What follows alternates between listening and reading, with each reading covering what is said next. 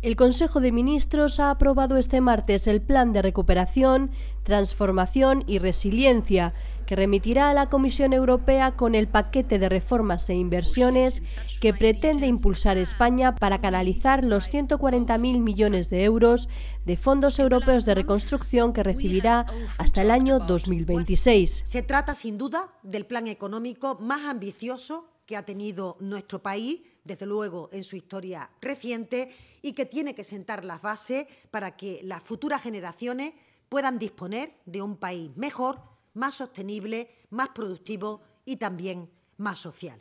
En cuanto a la actualidad más inmediata, la ministra portavoz ha condenado las amenazas de los últimos días. Ninguna amenaza va a ser ningún acto de violencia, ninguna intimidación contra ministros, altos cargos o responsables públicos va a conseguir debilitar las profundas convicciones democráticas que conforman este Gobierno. En referencia a los últimos datos de contagios registrados en la India, el Gobierno también ha reaccionado que en el BOE de mañana se va a publicar eh, la orden que ha firmado la ministra de Sanidad para establecer cuarentena para personas que llegan a nuestro país procedentes de la India dentro de todas las medidas de control sanitario que son más adecuadas.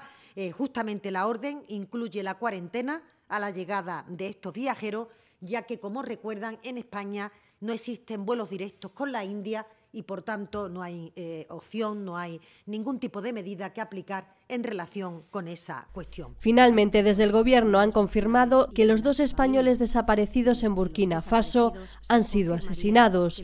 Ambos eran periodistas y realizaban un documental. Periodistas españoles desaparecidos en Burkina Faso.